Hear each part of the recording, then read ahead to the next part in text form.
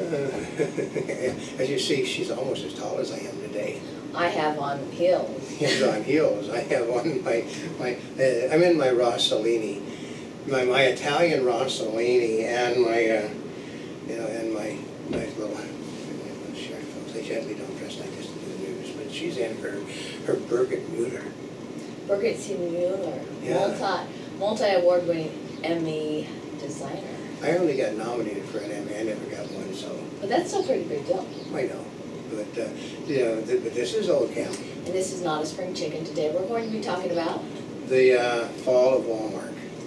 why are we talking about the fall of Walmart? Well, because it is falling stock-wise, and the fact that we're pissed off at the fact that they no longer have customer service at Walmart.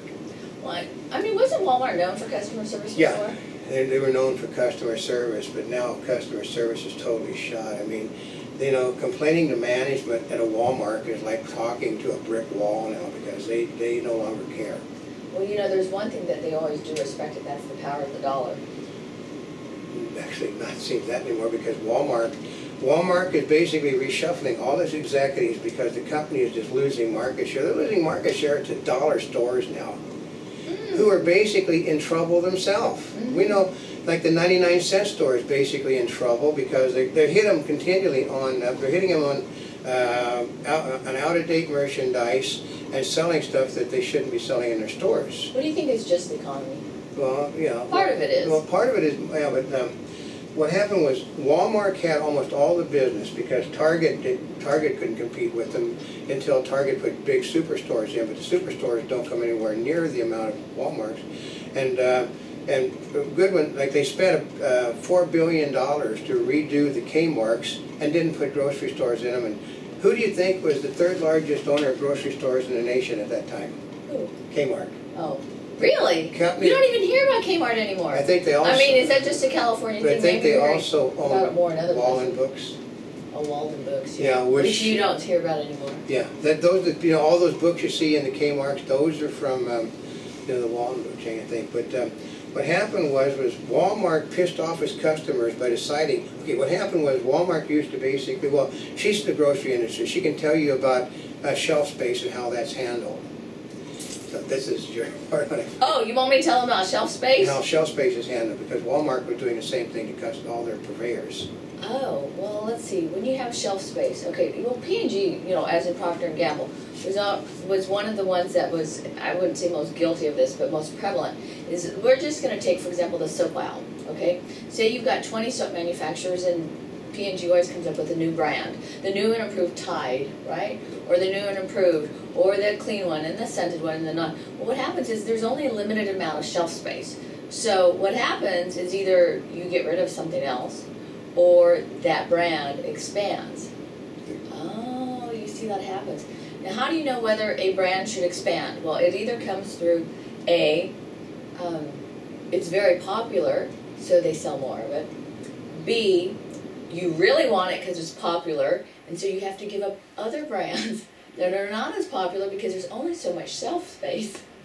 Oh, would that happen? Yeah. Um, hmm. This supplier may represent a number of different companies, and to get that one specific brand, which, which is pretty much the same thing, Yeah. you need to give them all this extra shelf space. Right. Oh, it all comes down to shelf space? Yeah, and it, al- and it also, you can buy that shelf space. My mother, Yes. my mother was in the grocery business for the last decade of her business life, and she worked for one of the larger grocery chains. She was in charge of the bakery division of the of the chain. She, they would come in and uh, you know they'd say one of the like uh, interstate bakeries, you know, I I would like my product. You know, but you know your product is down here. Well, I'd like my product up here, and then they'd make deals to move the people out up there to down there, Mhm. and uh, And then the people up there were down there now are trying to make deals to move. move up there, and that they would buy shelf space for products, and then they say, like like what with Walmart, Walmart was doing the bit you said, you know, they would make deals with people to control all the shelf space on in, in an area, and then they excluded all the things, all the other things, but it was the other things that brought people into Walmart's.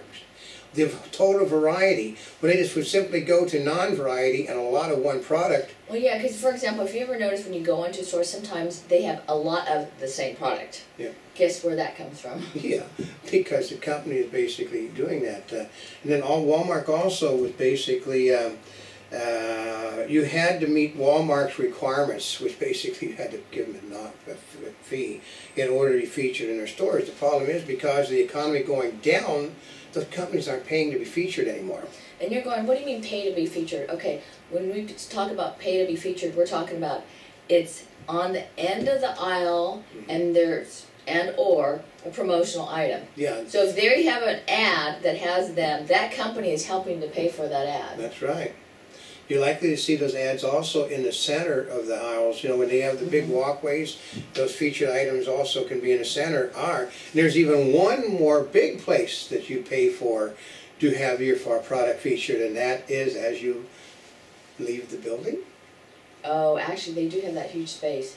Um, actually, when you walk into the building, when you leave the building, when you first walk in by the carts, there's that huge wall Mm-hmm. of product, or when you leave, there's that huge wall of product. Same thing in a regular supermarket, when you first walk in, depending on how it's set up, all that stuff in the front, a lot of times you think, oh, it's seasonal. Well, yeah, sometimes it's seasonal, and they get the manufacturers to do it because, you know, don't you want beer and chips during the Super Bowl? That's right, yeah, but that's, you're paying, uh, you're helping to sponsor the advertisements for your product being put right where people have to walk by them as you come into the store. So it just, uh, like I said, Well, because and and they do the promotional pricing because part of it is as a consumer when you go in, you're like, and you see it, and you're like, oh yeah, we got to get some beer and chips for the Super Bowl. Yeah. Right, and you see, and so you don't typically run all over the place, especially if you're in a rush. You're like, oh, it's all right here. Let's just grab from these. yeah, Those are the ones on sale. it too. makes it convenient, and, uh, so it, uh, but what we did the other day, we ran into a, a, okay, Walmart is now starting to develop racist policies in a store, which the store, when you go to the manager and tell him that you've just been hit with racism, the manager doesn't give a damn. When the manager won't even go talk to the people where the problem is, and the people are standing like twenty foot away from him, they know that there's a problem and they're not supposed to deal with it. Yeah. Because we ran into the problem, we we went into the Walmart, I coach, I, I had, uh, okay, my tuxedo, just before I got my tuxedo was across the street from the Walmart. So they didn't have any uh, handkerchiefs, so we knew that Walmart carries handkerchiefs, we went in there and we picked up a few things to go with it, some makeup for not a spring chick and some, you know, some, I got, we got, coffee was on sale, but we got some stuff and, uh, we went to the checkout. And because Walmart, Walmart basically has cut back on people at the house, they know they had Registers. registers now because that's a sign of the economy that they are cutting back on. They used to have tons of registers open now. I mean, like the place is just full of people, massive lines at the registers. They had four registers open and um, five uh, Check out. checkout things. Self- self-checkout. Self-checkout. So, uh, so what we did was we went over to self-checkout because we only had like five, six items and we were going to go through. And so because of the, you know, they do have fire marshal problems in these stores. You got to keep the the uh, walkways clear. So they moved everybody over into one line, fed to the checkout things out of one line in order to keep it civil. So what happened was an Afro-American lady and some of her friends decided they didn't give a damn about what was going on. They went to a black cashier. The black cashier then basically decided, well, these people are going to that one. I mean, all you know that line that wrapped all the way around the thing. They're going to this one cash register. So these, this is you can go to this one. Well, yeah, and then the, the basically the, the nice little Afro-American types all fit into those cash registers, and uh, Oh, and of course she says, oh, I'm not trying to crowd in line. yeah, no, but we went to I just wanted to ask her a question. Yeah, and then she put her in line and put everybody else over there, and just basically said, to hell with all the people that are waiting in line and doing what they were told to do. Gotta remember, folks, everybody in that line was white. Well, you know, the, the irritating part was when we complained to the lady, she says, oh, God loves you. I'm thinking, that has nothing to do with it. I know. We, we, we went to the management, management didn't even get off his ass to go do anything, and you know what his. He went the opposite direction. You know what they were, well, I'll get, you go get your stuff and I'll see you're checked out, and then you ask the question, well, what about the people that are also eating over there?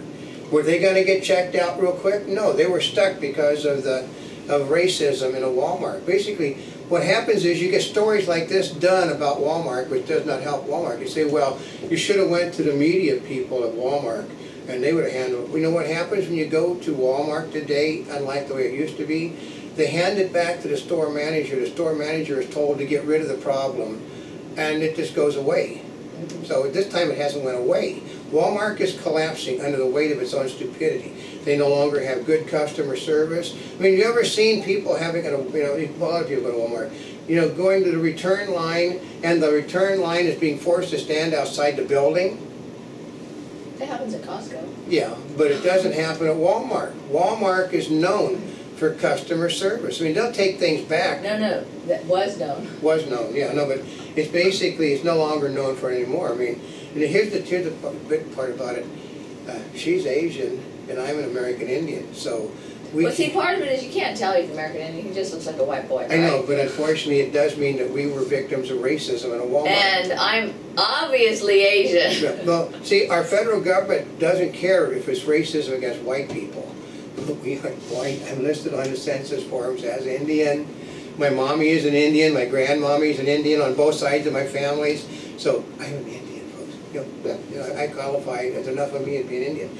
So what happened was, it then became not reverse racism, it became flat-out racism in the Walmart. Mm-hmm. Because when, as, as our government says, it can't be racism against white people, it can only be racism against minorities, and minorities. I'm a bigger minority Well, you know, part of it is, is it's racist whether it's against white, No, black, but they don't, they, white African Americans, Asians, Our justice- Latinos. but our it makes a Justice. Department has said there cannot be racism done against white people, only white people can do racism. I know, that is, just like, But if, they can't uh, even read the dictionary. They, they don't, they, well, they probably can't read their product or educational system, but, um, no, it just, we're, you know, we're, we're griping about things, but I mean, all you gotta do is look, watch the stock market and see Walmart falling every quarter, it gets worse. It is basically, they canned everybody and tried to refix the problem. You know, uh, they can't get the people that they threw out of their stores to come back because they're now going to other stores. Then the, That would be a problem. and they're, they're not being able to pick up the money, the money they used to make. I mean, how about this? Walmart managers owning airplanes, Wow, you Remember? could do very well as a yeah, Walmart airplanes, boats, places. You're not talking about those little ones. No, I'm talking about airplanes, we're talking, they own, you know, cigarette boats. Oh, does this have anything to do with shelf space? yeah, that Oh. is, that is ended because the fact that it's a reset, you know, the, um, the problem is no matter what, the cost of merchandise is going up and people are spending less money at the stores, so therefore the, the businesses are not making as much money. They're not restocking the shelves that they do, do have in the stores. They're basically, go into a Walmart and see how many shelves have empty spaces on them. That is not how the business used to be ran. They used to have uh, semi trucks. Okay, Walmart was weird. Walmart would park semi trucks in the parking lot, and they'd go out to the, they'd, they'd go to the trailers and pick out the merchandise they needed for the stores. You don't see those trucks parked anymore. Only what's on in the building are they putting out now, and they're not getting because gasoline is higher, shipping is higher because people are having nobody's buying things. They're not shipping as much anymore. So it just all comes to hurt a business that was basically based upon having ungodly amount of stuff. Walmart is basically um, is downsizing its business now. Oh, it is? Yeah, and out of this country, they're going great guns because everybody loves Walmart out of the country. But then you know they probably have customer service which they don't have here. But we just thought that we you know we just jump on the anti-Walmart bandwagon at the moment because everybody else is, and because we've seen Oh, it that's why firsthand. we're doing it? No, no, we've seen it firsthand. This is not the first time this has happened in a Walmart to us. Well, and part of it is you favored Walmart for a long time because you've known Walmart where, in places where you've lived. Yeah. Walmart, to me, is relatively new because it hasn't been in California for a very long time. I mean, the, okay, the superstores tend to have a different attitude than the regular stores, which I've discovered. Well, we go to a superstore all the time, but the problem is with the superstore that we go into, because of the price crunch, they have now stopped carrying as much merchandise. We used to stop in there to get something, okay, uh, to get something on the way to Las Vegas. You to get these on. huge sandwiches, Now, now their huge sandwiches are the same price, but they're half the size of what they were before. They're I like little know. bullet the sandwiches cost now. of bread. Yes, the cost of bread went up. Well, because there used to be, there, uh, the bread on the, in the bakeries were ninety-nine cents before, they're like two dollars and fifty cents now. Mm. So naturally, they're not giving you, they're not gonna give you a two dollar fifty cent thing for, so they give you one, they give you a bullet piece and charge you the same price, but, uh, it is changing, the, the country is changing, it's, it's not changing for the best, it's changing for the worst. All you gotta do is see a- an American-born industry that's starting to collapse. And Walmart was an American-born business, folks. I mean, I was, uh, I can remember when my mother, um, years ago, she was, because she, you know, I needed a new set of, a new set of cowboy boots to work in. And I didn't want to pay the money they wanted out here. When they were, she was on vacation, and he said, you know, we got, we got some Tony Lama boots here for fifty bucks. And, what? Yeah, he said, yeah, you know, she said, go to the store and find out what your boot size is. yeah. So I went to the store, found it, made certain my boot size was, and she said, okay, we'll get the boots. And she said, don't worry. She said, uh, you know, if if the boots are the wrong size, then uh, your uncle will take them back for you. We'll ship you back. He take them back. So no, but that that's how I got introduced to Walmart. Tony Lama boots, which were That's pretty unbelievable. we are really, they are god awful expensive way back in those days, you know. You know, when Walmart first opened, but they, you know, but they had service like you would not believe, everybody friendly. Now, those days have now gone bye-bye. So, it's not, you know, so we- we've seen it, I've seen it from the beginning, and I've seen this death throes right now. And I don't Mhm. think they're gonna, they simply, they pushed the envelope too far. I mean, you do realize that they have tags on your, on a lot of your stuff where they can tell where your merchandise is going to. First thing you You should do. RFID yeah, tags? When you get out of the store, just strip out all of those tagging that they got and everything. Well, see, part of it is you're going, what are those? These are these computer circuit tags, and they use them. Actually, you know who would use them like UPS and Federal Express, right? Yeah. Because, um, and I don't know if they exactly use it, but everything's barcoded. So you know when you check on your package, it'll tell you it left or it arrived in Los Angeles or it left such and such. It's because the merchandise is tagged, and then it passes that point and it scans through it. Yeah, and uh, Walmart has its own, as I understand, its own system, which will tell you, when you bring a piece of merchandise back, they actually know where the stuff was bought at to begin with. You don't bring it back to the same store, they more than likely will accept it. But if, but if you happen, if they, you know, if your name happens to be, you know, Chin Ho, and you, and a guy comes in and he brings it in and his name is, uh, you know, Mueller, uh, why is this, you know, I have a thing at, over here at the store in, you know, in El Segundo. You say it's a Christmas present. Yeah, but it's, it's yeah, but they'll, you know, they're returning it for cash. So now they can tell absolutely, you know, they, they'll match the name with the person that bought the, uh, you know, if they're returning the merchandise, and sometimes they really get sticky about it, folks. Mhm.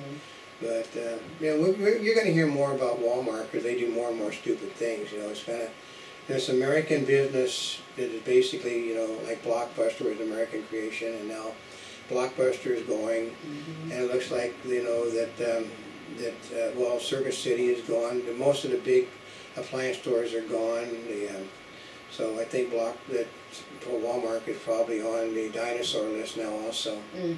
But until, more about it until next time, this is Oldecam. And this is not a spring chicken. We're here yesterday, today, and tomorrow for more information. You can go to www.montebubbles.net on the net. And wherever you're watching us, um, subscribe to us, watch our daily newscasts in 3D, and thank you once again for over 40 million links on the internet.